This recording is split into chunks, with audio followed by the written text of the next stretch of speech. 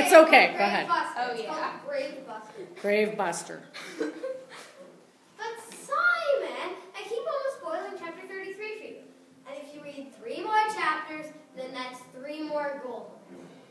My sister, Iris, was saying that in, the, uh, that in chapter 31 of the, of the last book in the series that I'm finally, of books that I'm finally finished, she started crying because it was so sad. We made an agreement that every chapter I read, that Iris listen to an NHL gold.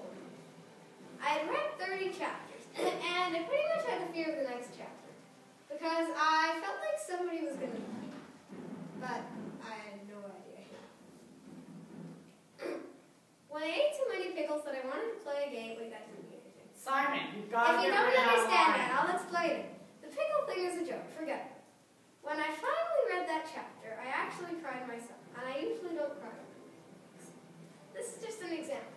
Actually, I think example is the wrong word. I'm not really afraid of chapter 31 because I have read it.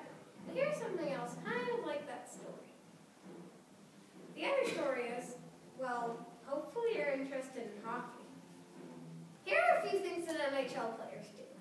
They chew on their mouth guard, they take a drink of water and then spit it out.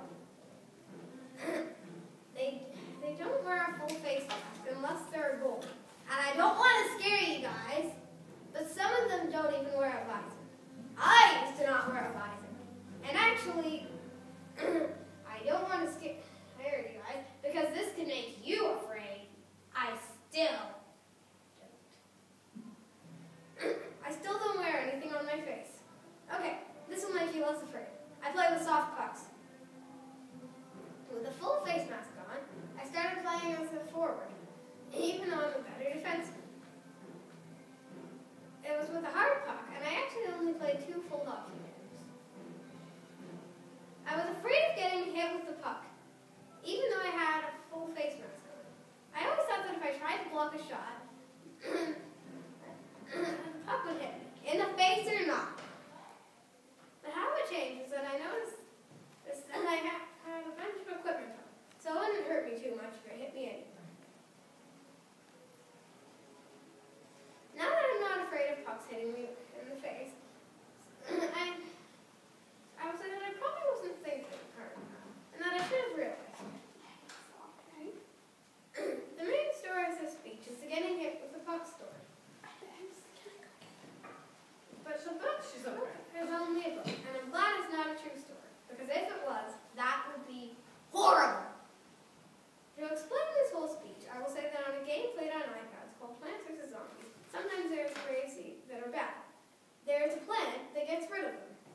If you can get rid of all those graves, you don't need to worry much. Fear can go away. Everyone's afraid of something, but you can get rid of fears. If you can, you're just like this plant I told you about, the grave buster. You can get rid of fears in strange ways, like reading a chapter of a book. Yes, it's weird how it's possible to read to get rid of fears.